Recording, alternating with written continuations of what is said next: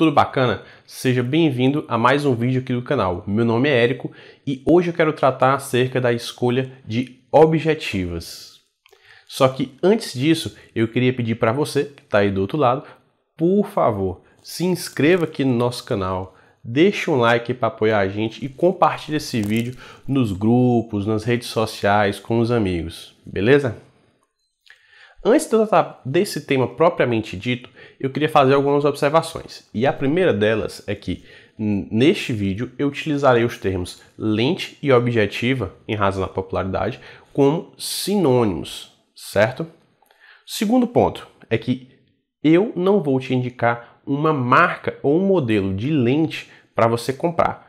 Porém, se você assistir esse vídeo até o final, eu vou te fazer entender o que você precisa e, com base no seu bolso, você vai escolher se vai criar uma lente da Tamron, Samyang ou da própria marca aí da sua câmera.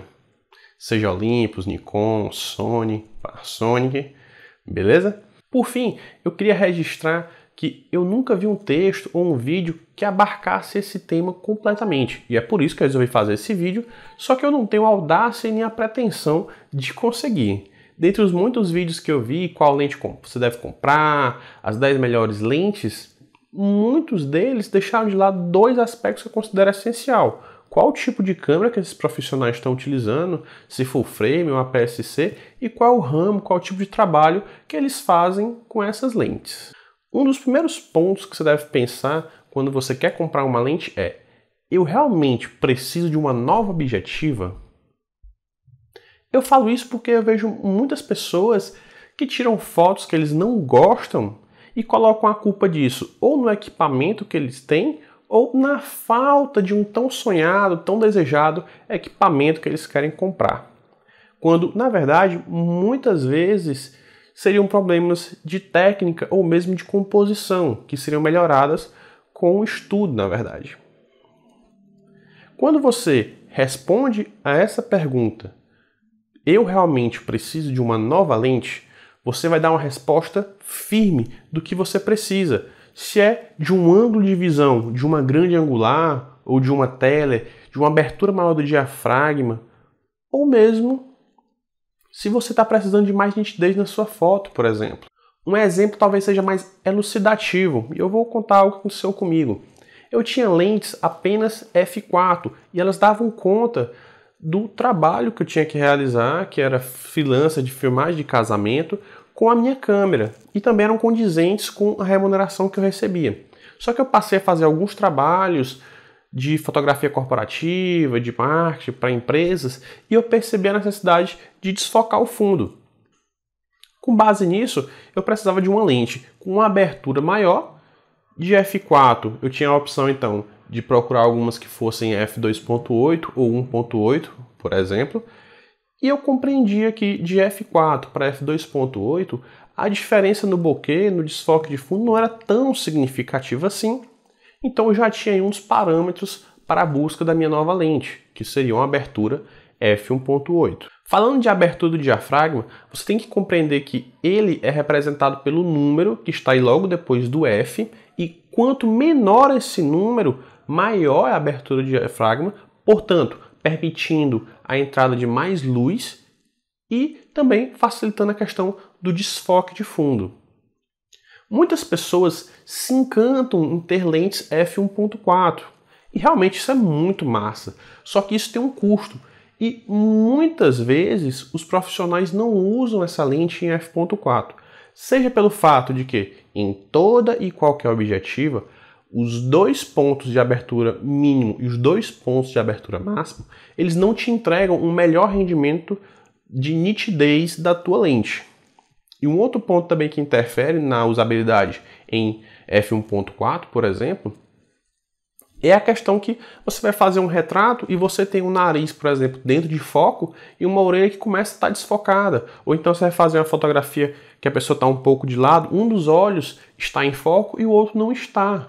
Ou mesmo, vamos dizer, um fotógrafo de arquitetura e paisagem que ele faz muitos e muitos e muitos seus trabalhos durante o dia. Então ele provavelmente ele vai fechar um pouco mais o seu diafragma.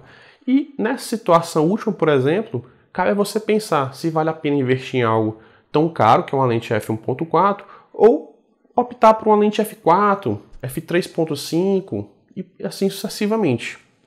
Outro ponto relevante na escolha da sua lente diz respeito à questão da distância focal. A distância focal é esses milímetros aí que tem na sua lente. E basicamente você vai pensar primeiramente se você quer uma lente fixa ou uma lente zoom.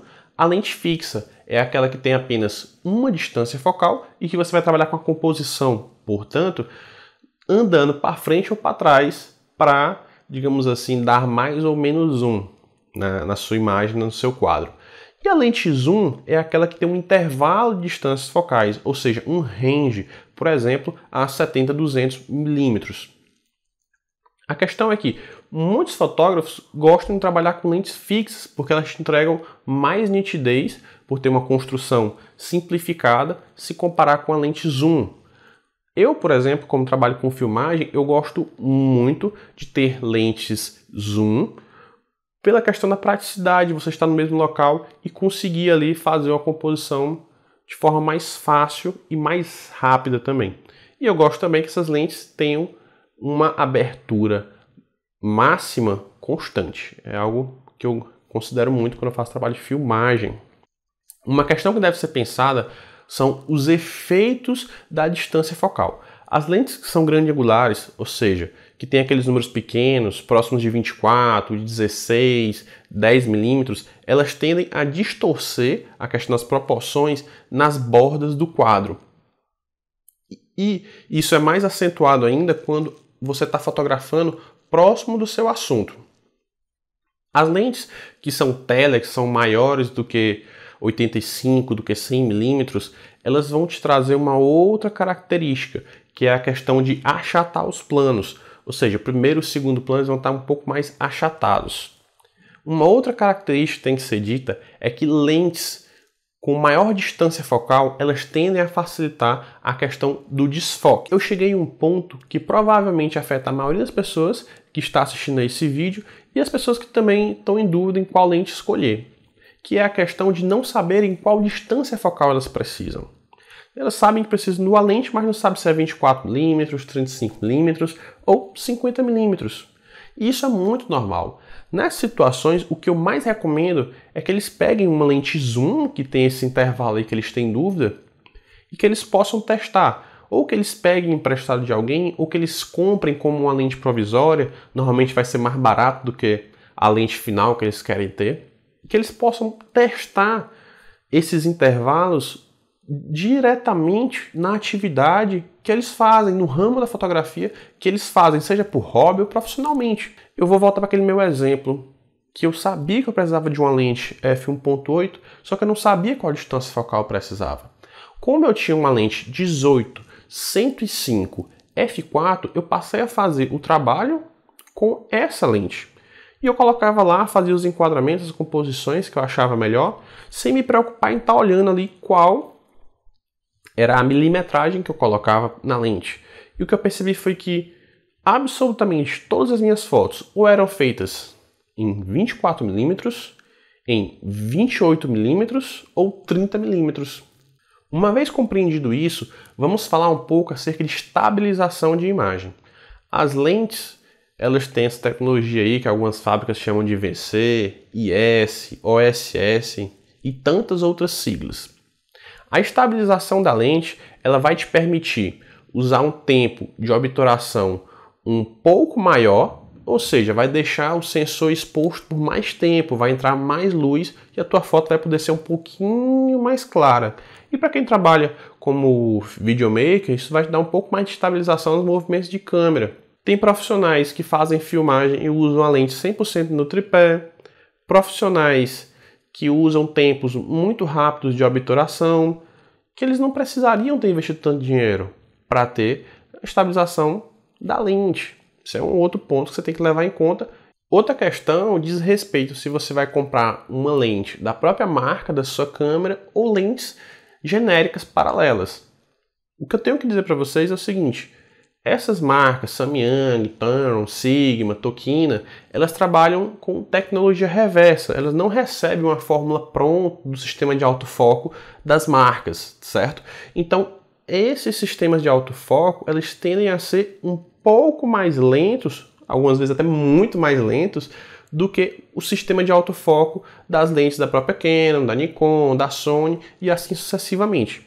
Isso é um ponto que tem que levar em conta e aí eu faço uma observação. Tem pessoas que adoram fazer fotos de paisagem, que só fazem fotos de família pousada ali quando tem festas. Nesses casos, não seria relevante economizar um pouco de dinheiro para comprar uma lente paralela? Uma coisa importante que tem que ser dita é a diferença entre câmeras full frame e APS-C, vulgo cropadas. Cropada porque ela tem um sensor menor.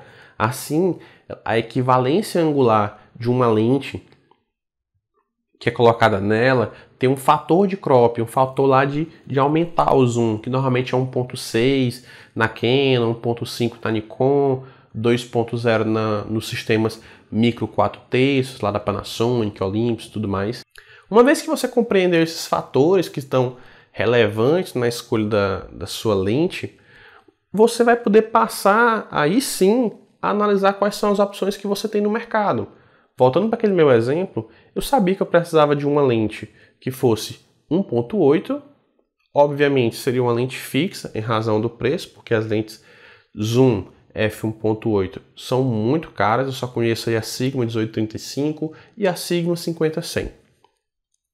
Então eu precisava também de uma distância focal que fosse mais ou menos entre 24 e 30 milímetros. Olhando as opções que eu tinha no mercado, ou eram de lentes f2.8 da Samyang e afins, ou eram lentes que eram bem caras. E o que eu percebi foi que uma lente 35mm f1.8 da própria Sony tinha um preço mais baixo do que as outras opções que eu estava olhando.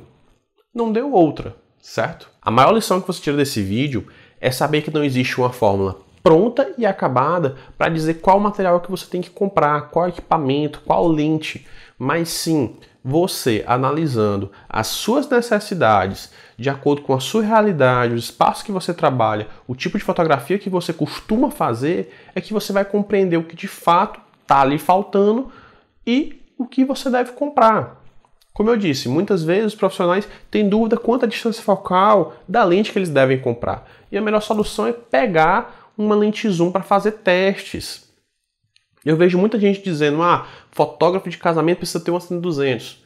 Poxa, mas se o fotógrafo utiliza uma câmera APS-C, se ele faz fotografias normalmente em igrejas pequenas, na cidade dele, no estado dele, e se pensarmos que ele se especializou, por exemplo, em fazer mini weddings, ele pega uma dica dessa, provavelmente ele não está pegando a melhor opção de lente para o trabalho que ele faz, o trabalho específico que ele faz. Se você está começando agora na fotografia, se você nunca fotografou antes, provavelmente a lente do kit vai te atender muito bem.